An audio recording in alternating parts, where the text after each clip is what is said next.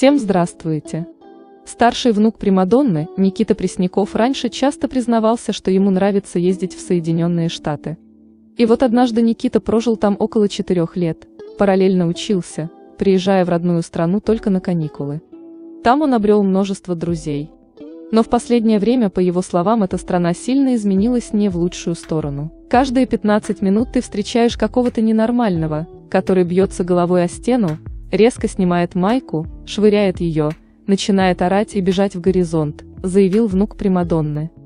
Кроме того, со временем город, где я жил, стали намного хуже убирать. Сейчас ты не можешь пройти по переулку, потому что он весь в гигантских черных мусорных пакетах. Их растаскал ветер, все валяется, отметил он. Сейчас Пресняков живет в родной стране. Ему очень нравится столица, он получает удовольствие от атмосферы, разнообразия еды, позитивно настроенных людей, да и по собственному признанию, в родном городе крепче отношения с друзьями. Все так классно изменилось с тех пор, как я вернулся после учебы, заключил Никита. Мне совсем не надо никуда бежать, думать, куда уехать и где укрыться. А вот близкие люди музыканта придерживаются другого мнения. Так, например, юморист Максим Галкин заявил, что из-за резкой реакции общества и отмены его концертов было принято решение уехать из страны.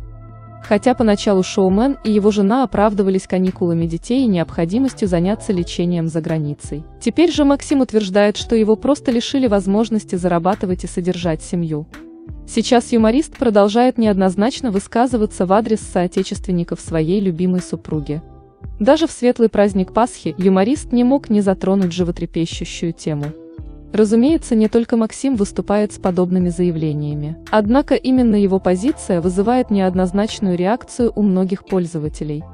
Будем надеяться, что такое противостояние мнений не разрушит общение внутри большой звездной семьи.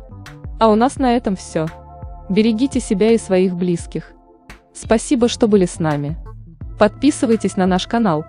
Ставьте лайки, комментируйте. Всем пока!